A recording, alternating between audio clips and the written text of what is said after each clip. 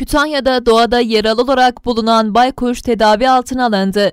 Aslanapı ilçesi Yalnızsaray Mahallesi yakınlarındaki arazide mahalle sakini bir kişi, arazide bir baykuşun hareketsiz şekilde durduğunu fark ederek durumu Doğa Koruma ve Milli Parklar Müdürlüğü'ne bildirdi.